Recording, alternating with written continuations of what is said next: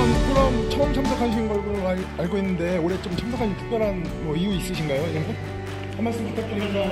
오늘 어떻게 오늘 어떻게 준비하셨는지 좀 부탁드리고.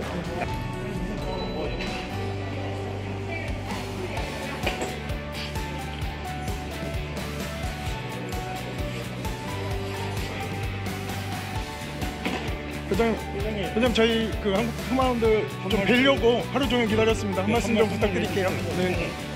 회장 뭐 국경이 날씨가 너무 좋죠. 네, 날씨. 어떻게 오랜만에 오신 소감은 어떻습니까?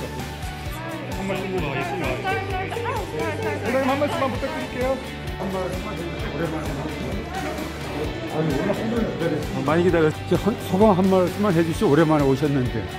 네, 아유. Sorry, sorry, sorry. Yeah. Okay, okay. We're going to head towards Josh here. Something Great, thank you so much. Right here. Josh. I like that. No, no, we're 100% sorry.